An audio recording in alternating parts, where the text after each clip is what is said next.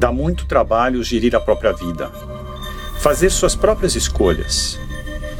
Muitas vezes aparecem pessoas que te dizem: Deixa que eu faço isso para você.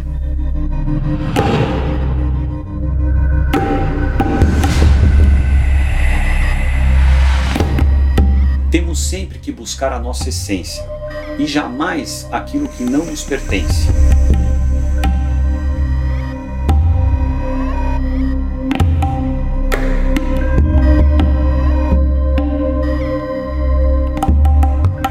As consequências das nossas escolhas nem sempre são diretas.